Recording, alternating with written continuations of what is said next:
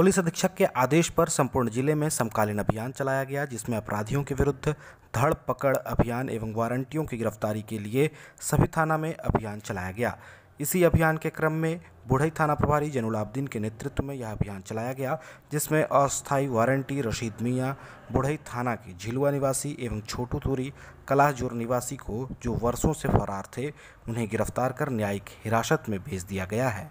Sir, दो warranty पकड़ाया है। क्या मामला है? पुलिस अधीक्षक देवगर महोदय के आदेशानुसार बीते रात्रि संपूर्ण जिला में समकालीन अभियान चलाया गया था, जिसमें अपराधियों के विरुद्ध धरपकड़ अभियान, वारंटियों की गिरफ्तारी के लिए सभी थाना में अभियान चलाया गया इसी अभियान के क्रम में बुरई थाना में एक अस्थाई वारंटी और एक वर्षों से फिरार वारंटी को पुलिस ने गिरफ़्तार किया, जिसका नाम है छोटी पूरी उर्फ़ छोटू कल्हा जोरका और रसीद मियाँ झिलवा ग्राम झिलवा थाना बुराई का रहने वाले, दोनों को गिरफ़्तार किया गया है और गिरफ़्तार करके इन्हें जुडिशली कस्टडी में भेजा जा रहा है।